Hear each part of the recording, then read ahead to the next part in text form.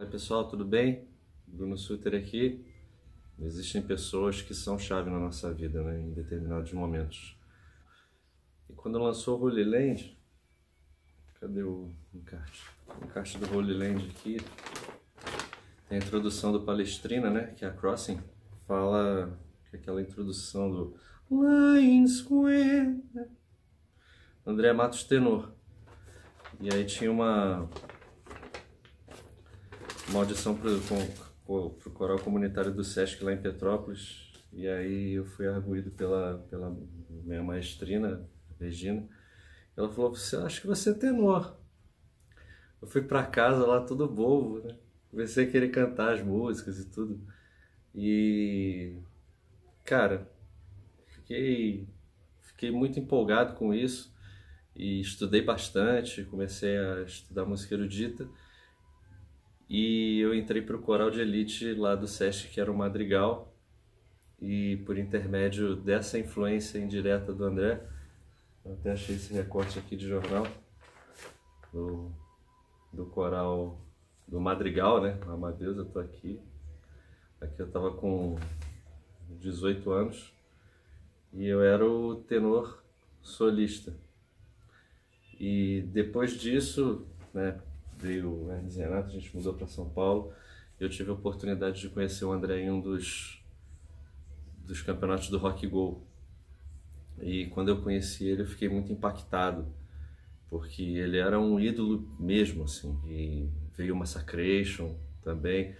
No vídeo do Massacration fala que o André era inspiração. E a banda que é a revolução do metal nacional. Angra!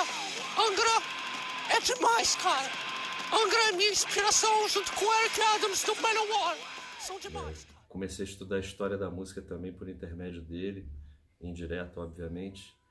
Então foi uma felicidade muito grande ter uma pessoa com quem você possa se espelhar e depois eu tive a felicidade de conhecê-lo. Eu lembro que uma vez eu levei esse recorte de jornal para ele ver e ele ficou muito impactado. Ele falou: Poxa, me, me causa muita surpresa saber que, que a minha influência chegou a esse ponto. E ele, de uma certa forma, sempre me apoiou.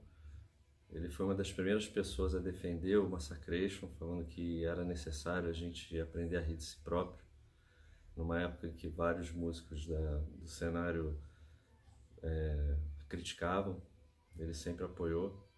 O primeiro show que eu fiz fora do personagem aqui em São Paulo foi um show com o Andréas. E ele, quando foi me chamar, falou que, que eu era uma, uma promessa do, do... Mas eu posso dizer uma coisa: o Bruno é o melhor vocalista do heavy metal que já apareceu no Brasil nos últimos 15 anos. Sempre me tratou com muito carinho. E tive a felicidade e a honra de dividir o palco com ele algumas vezes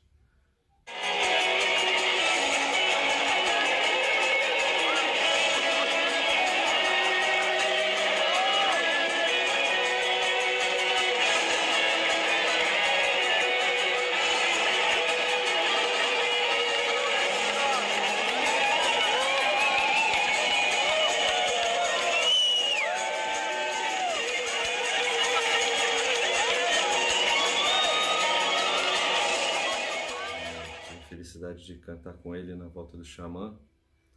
Chamei ele no programa e na cara de pau falei, cara, deixa eu cantar contigo. Estou, estou me convidando para cantar com Vossa Senhoria, já que não houve a possibilidade aquela vez que fizemos lá no Abril Pro Rock. Muito bem. Gostaria de me convidar para cantar Pride com Vossa Senhoria, caso seja aprovado. Então, já que está lançada em público essa questão, eu só gostaria de saber quem, é, qual dos três vai.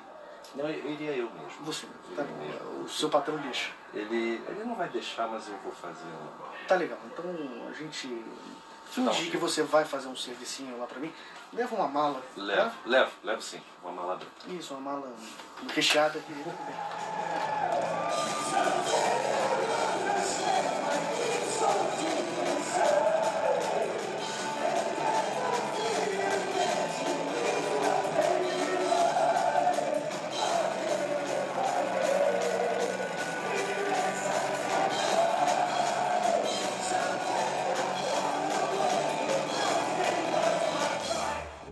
André como uma pessoa muito importante na minha vida é, musical e sempre tive oportunidade de poder falar isso com ele, sempre falei isso com ele e ele sempre abriu um sorriso quando eu falava isso. Então, uma lição que a gente pode, pode tirar de um, de um acontecimento tão, tão triste,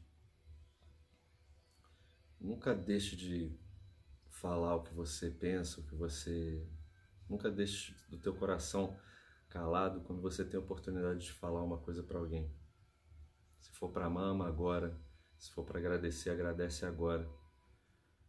Porque a gente nunca sabe o dia de amanhã, né? E passei o dia de ontem ouvindo, ouvindo os discos dele. É, acho que muita gente está fazendo isso em homenagem a ele, vai continuar. Esse legado ele vai estar no nosso coraçãozinho para sempre. E eu tive a felicidade de conhecer esse André, sabe? Bem-humorado, é, humilde, altruísta, generoso e eu tive a felicidade de conviver com um ídolo. Isso não é uma coisa normal de acontecer e eu tive essa oportunidade a única coisa que eu tenho para sintetizar esse vídeo é agradecer. André, muito obrigado pela tua generosidade, pela tua bondade, pelo teu altruísmo comigo em todos os momentos que a gente esteve junto. Uma grande felicitação à família, força para a família, muita luz para todos os familiares, amigos mais próximos e a todos nós fãs que ficou, a gente ficou bem órfão num momento como esse. E vamos continuar. Vamos tentar honrar o teu legado e levar o nosso querido rock. E você é mais um anjo com a tua voz de cristal cantando no céu. Vai com Deus, irmão. Obrigado por tudo.